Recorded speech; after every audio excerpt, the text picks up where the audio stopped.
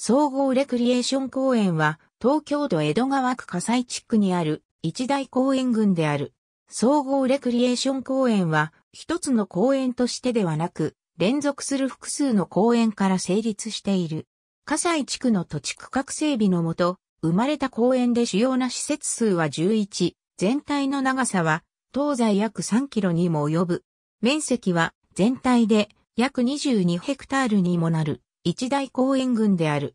地名としては西葛西、中葛西、南葛西にまたがるテニスや野球場といったスポーツ施設から草花の鑑賞、バーベキュー、ポニーの乗馬など四季を通じて利用できる総合公園となっている。また、近接して新左近川浸水公園や長島川浸水公園もあり、付近は緑豊かな地域となっている。なお、敷地の上空の多くは送電線となっている。運営は江戸川区の第三セクターである財団法人江戸川区環境促進事業団が行っている。子供向けの遊具で構成されている公園、近隣の住民に多く利用されている。公園内にはティラノサウルスとトリケラトプスの置物があるため、恐竜公園と呼ばれている。4000人を収容できる野球場、ナイター設備もある。詳細は江戸川区球場を山椒噴水のある公園で、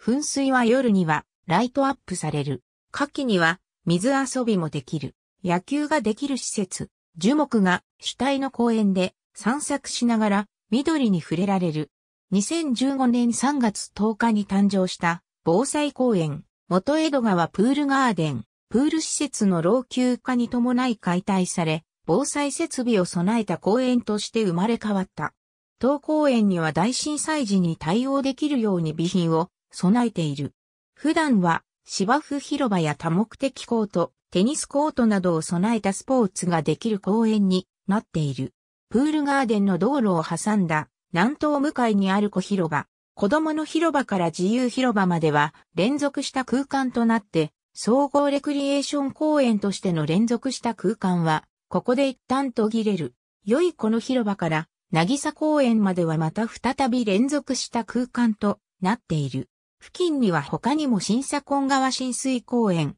長島川浸水公園など公園が多い。南葛西少年野球場の西隣にある小広場、野球ができる施設。主に球技や相撲場、壁打ちテニスができる施設からなっている。なお、ファミリースポーツ広場とフラワーガーデンの間は、環七通りが横断している。遊具やアスレチックのほか、デイキャンプができる施設や、江戸川富士といった人工的な丘があり、ソリなども楽しめる。また、フラワーガーデンから、なぎさ公園まで園内を周遊するパノラマシャトルが運行されている。